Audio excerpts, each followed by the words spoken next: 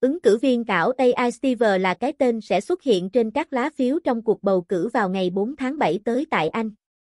Đây là hình ảnh được AI tạo ra, với nguyên mẫu là doanh nhân Steve Endacott. Khi cử tri đi bỏ phiếu ở một thị trấn ở Anh vào tháng tới, họ sẽ có cơ hội bầu ra người được coi là chính trị gia trí tuệ nhân tạo, AI, đầu tiên trên thế giới, AI Steve. Đây thực chất là hình ảnh được AI tạo ra, với nguyên mẫu là doanh nhân Steve Endacott, được chính công ty Neural Voice của doanh nhân này thiết kế.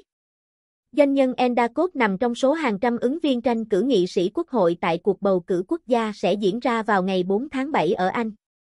Nhưng không giống những người khác, khuôn mặt trên tờ rơi tranh cử của ông không phải là chính ông mà là một hình đại diện do AI tạo ra.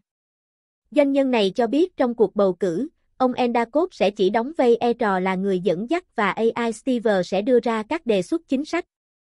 Ông nói, chúng tôi sẽ tuyển dụng thêm nhiều ứng viên AI trên khắp đất nước sau cuộc bầu cử này và chúng tôi coi đây là sự khởi đầu, nền tảng cho một điều gì đó lớn lao và một điều gì đó dân chủ. Theo đó, nghị sĩ AI Steve sẽ tương tác theo thời gian thực với người dân địa phương về các chủ đề khác nhau, từ vấn đề LGBT, nhà ở cho đến thu gom rác và nhập cư, cũng như lên ý tưởng chính sách trước khi tham vấn người dân.